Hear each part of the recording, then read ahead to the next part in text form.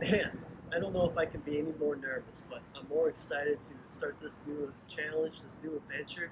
I hope you guys want to join the adventure with me to just get that VIP look inside my life. And with that said, I hope you guys enjoy the trailer. And for the first time ever, welcome to my channel.